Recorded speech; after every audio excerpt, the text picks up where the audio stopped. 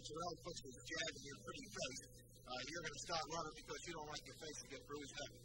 I don't like it bruised up. Man, fight out artists today. Any person who likes their face bruised up is a fool. Anybody who likes their face bruised up, or any fighter who likes his face bruised up is a fool. I don't like it bruised up and having been bruised up, and I'm sure this time